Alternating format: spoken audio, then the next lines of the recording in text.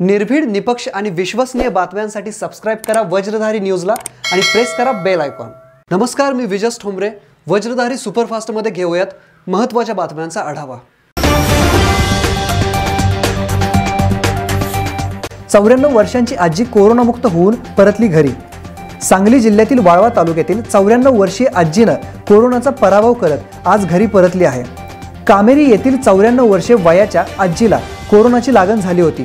सदर आजी गेल्या पंधरा दिवसात कोरोनाची टक्कर देत आज कोरोनामुक्त झाले आहेत. खरे तर हे सांगली जिल्ह्यातील आरोग्य यंत्रणेचे यश आहे. चौऱ्याण्णव वर्षांच्या आजीची कोरोना विरुद्धची लढाई प्रेरणा देणारी आहे.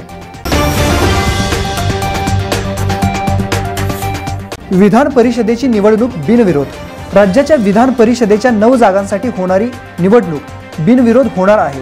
शिवसेनेकडून मुख्यमंत्री उद्धव ठाकरे नीलम गोरे भाजपाकडून प्रवीण दटके गोपीचंद पडळकर रमेश कराड आणि रणजित सिंह मोहिते पाटील याची तर राष्ट्रवादी काँग्रेसकडून अमोल मिटकरी शशिकांत शिंदे यांची आणि काँग्रेसकडून राजेश राठोड यांची वर्णी लागली आहे. सोलापुरात आज नव्या एकतीस रुग्णांची भर जिल्ह्याचा आकडा तीनशे आठवर पोहोचला.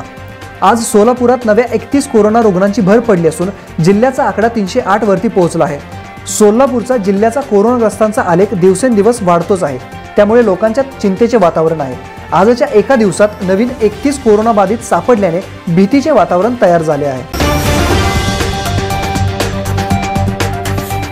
बेदाण्याचा ऑनलाईन सौदा करण्याची पालकमंत्री जयंत पाटील यांची सूचना. कोरोनाच्या पार्श्वभूमीवर बेदाणा सौद्याच्या ठिकाणाची गर्दी टाळण्यासाठी पालकमंत्री जयंत पाटील यांनी बेदाण्याचा ऑनलाईन सौदा सुरू करण्याची महत्त्वाची सूचना केली आहे. ट्रकने उडवलेले शिक्षक नानासाहेब कोरे यांच्या कुटुंबाला सरकारने एक कोटी रुपये द्यावेत. इतिहास अभ्यासक श्रीमंत कोकाटे. कोरोनाच्या विरुद्ध लढत असताना रात्रीचे चेकपोस्टवर काम करणारे जत तालुक्यातील शिक्षक नानासाहेब कोरे यांच्या कुटुंबियास एक कोटीची भरपाई देण्यात यावी अशी मागणी इतिहास अभ्यासक पुणे पदवीधर मतदारसंघातून उमेदवार श्रीमंत कोकाटे यांनी केली आहे. चेकपोस्टवर ड्युटी करणं हे शिक्षकाचे काम नाही तरीही ते हे काम करतायत. कोरेंनी कोरोनाविरुद्ध लढताना बलिदान दिले त्यांच्या कुटुंबियांना सरकारने एक कोटी रुपये भरपाई म्हणून द्यावेत. सांगली जिल्ह्यातील जत तालुक्यामध्ये रात्री चेक नाक्यावरती ड्युटी बजावत असताना एका ट्रकने नानासाहेब कोरे या शिक्षकांना चिरडून ठार मारलं. ही अत्यंत दुःखदायक बाब आहे. हे दुःख केवळ कोरे परिवाराचं दुःख नाही ते तमाम शिक्षक बंधूचं दुःख आहे. आणि मुळात चेक नाक्यावरती रात्री ड्युटी करणं हे शिक्षकाचं कामच नाही. तरी सुद्धा शिक्षकांना चेक नाक्यावरती ड्युटी दिलेली आहे. रेशन दुकानावरती नियंत्रण ठेवण्यासाठी शिक्षकांची नेमणूक करण्यात आलेली आहे. त्याचबरोबर सर्वे करण्याचं काम शिक्षक जीव धोक्यात घालून करत आहेत. आणि अभ्यासक्रम पूर्ण झालेला असताना सुद्धा लर्निंग फ्रॉम होम सारखी नाटकं सुरू आहेत. ज्यातून विद्यार्थ्यांचा आणि शिक्षकांचा मोठ्या प्रमाणामध्ये छळ सुरू आहे. परिस्थिती जर का आवाक्याबाहेर जात असेल तर एस आर पी बोलवा मिलिटरी बोलवा. पण शिक्षकाचा छळ प्रचंड मोठ्या प्रमाणामध्ये होत आहे. आणि मुळातच शिक्षकांनी या कोरोना सारख्या राष्ट्रीय आपत्तीमध्ये स्वतःची पंचवीस टक्के पगार दिलेले आहे.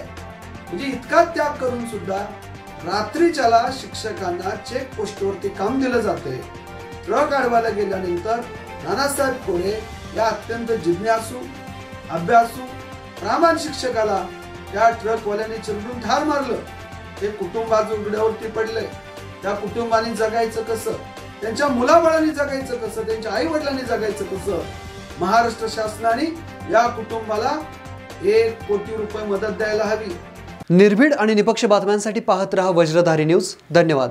आता आय आय टी जेई नीटसाठी लातूर हैदराबाद आणि कोटा इथं जाण्याची गरज नाही. Welcome to Shivpratap academy Vita इथल्या Shivpratap medical and I I T academy मध्ये कोटा व हैदराबाद इथला उच्च विद्या विभूषित शिक्षक वृंद विद्यार्थ्यांच्या सेवेसाठी सदैव तत्पर. Student of Shivpratap Academy Vita. Decision determine our destiny. I always want academy that would prepare me for life itself. Choosing Shivpratap Academy was the best decision.